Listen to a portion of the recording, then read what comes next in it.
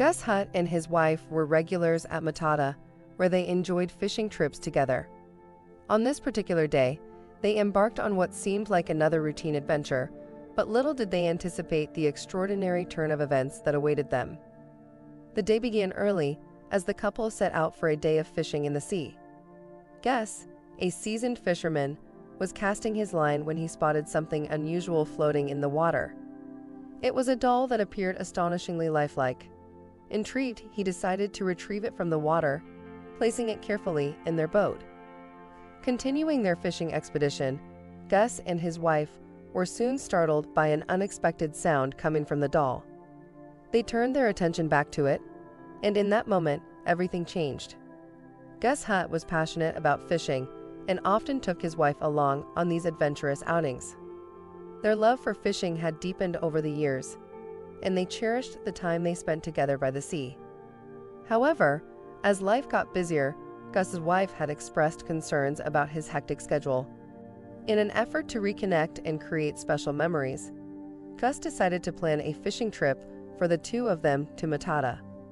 On this particular day, they prepared for their excursion meticulously, ensuring they had all the necessary fishing gear and even mosquito spray.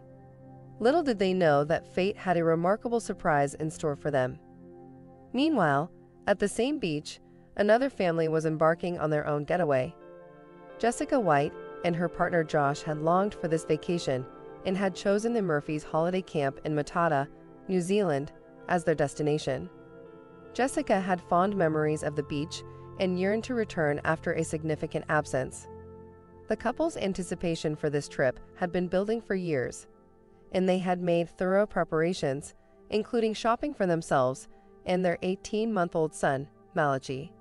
Upon reaching the campsite, they marveled at its beauty and set up their camp beside the shoreline. It was a perfect day, and this marked Malachi's first beach vacation. While Josh set out for some fishing in the ocean, Jessica and Malachi spent their time on the beach, where the little boy was captivated by the new surroundings. His joyful giggles and fascination were evident to everyone who saw him. As Malachi dug holes in the sand with his tiny fingers, Jessica watched with delight.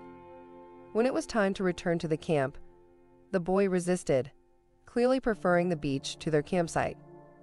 Reluctantly, they brought Malachi back to the camp, where he expressed his displeasure by crying. Despite Jessica's attempts to soothe him, he remained inconsolable. Malachi's attachment to the beach was evident, and he cried as he was taken away. However, the approaching dusk signaled their return to the campsite, and Jessica carried him back. Grateful for her loving family, Jessica couldn't help but express her happiness, feeling that she had everything she needed a devoted partner and an adorable son. She cherished the moment, reflecting on her perfect life. After putting Malachi to bed, Jessica and Josh spent hours talking by the campfire. They delved into their dreams and desires, rediscovering their emotional connection. Jessica gazed at her sleeping son, filled with love and gratitude. Little did Jessica know that the following morning held a significant surprise for her, and the beach would prove to be unlike anything they had imagined. After their lengthy conversation, fatigue eventually caught up with Jessica and Josh, leading them to retire for the night. Meanwhile, Malachi awoke and, unnoticed by his slumbering parents, decided to venture out of the tent. Quietly, the 18 month old crawled toward the unzipped entrance of the tent and carefully opened it. The tent was left wide open as he made his escape, embarking on an adventure that would soon send shockwaves through his parents. The pre dawn hours left the beach deserted, with only Malachi wandering along the shoreline. Unbeknownst to his parents, the 18 month old set off on an extraordinary journey that would soon leave them in disbelief. Gus Hutt, on his regular fishing expedition with his wife, favored a specific spot in the Bay of Plenty for its abundant fish population. Little did he anticipate that this day would mark a remarkable departure from the norm. Seeking a change of scenery, Gus Hutt decided to fish near the campsite for a change, deviating from his usual spot. Little did he know that this departure from routine would lead to a startling discovery. While patiently waiting for fish to take the bait on his fishing line, Hutt's attention was drawn to an unusual sight in the sea. There, some distance from his location, he spotted something bobbing up and down in the water. Curiosity piqued, he decided to investigate. Maneuvering his boat towards the mysterious object, Hutt soon discerned that it was a doll, perhaps left behind by a child from the campsite. The doll, exquisitely crafted and remarkably lifelike, caught his eye, and he resolved to retrieve it. Bending over the water, Hutt reached out and carefully plucked the doll from the sea. As he examined it, he marveled at its porcelain beauty, with its dark hair and pale skin. Struck by its uniqueness, he thought of presenting it to his wife, confident that she would appreciate such a distinctive gift. With the doll now aboard his boat, Hutt continued his fishing expedition. However, as he navigated the waters with the doll by his side, an unexpected sound emanated from it, sending a shiver down his spine. Alarmed, Hutt rushed to the doll's side, and to his astonishment, it was not a doll at all. Instead, he discovered that it was a baby, a porcelain like figure brought to life. His heart raced, and with trembling hands, he began pressing the baby's chest, prompting water to spew from its mouth. Overwhelmed by the realization, Hutt described the moment, saying, His face looked just like porcelain with his short hair wetted down. But then he let out a little squeak, and I thought, Oh Lord, this is a baby and it's alive.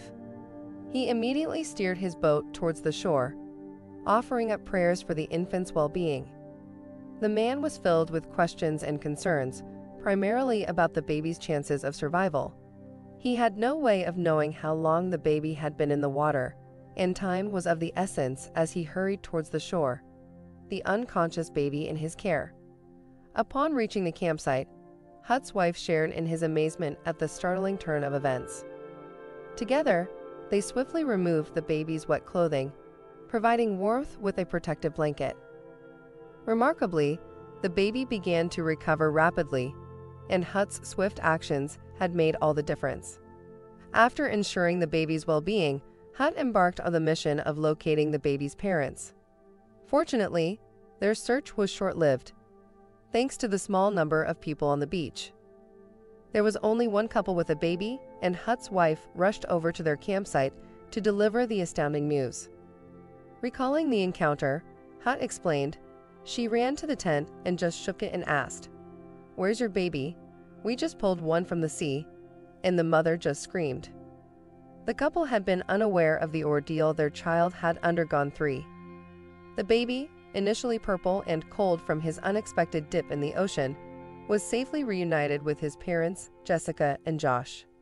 Jessica's joy was palpable as she held her child close, thankful that he had been rescued by Hutt. Emergency services and the Matata Volunteer Fire Brigade arrived at the scene, providing assistance and ensuring the baby's well being. It was nothing short of a miracle that he had survived such a harrowing experience. Hutt later retraced the baby's path to the beach, discovering tiny footprints in the sand leading to the water. It became evident that the baby had not been in the water for an extended period. Hutt's timely intervention had made all the difference. To express their gratitude, Jessica and Josh visited Hutt's home where they thanked him once again for saving their son's life. The baby, full of curiosity and energy, was unfazed by the incident and was clearly unharmed by his oceanic adventure. The camp's co owner, Rebecca Salter, reflected on the miraculous outcome, emphasizing that it could have easily taken a tragic turn. She described it as a freakish miracle that the baby had been saved.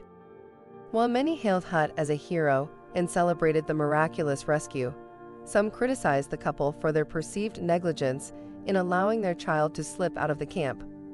Questions were raised about how the small child managed to unzip the tent without waking his parents.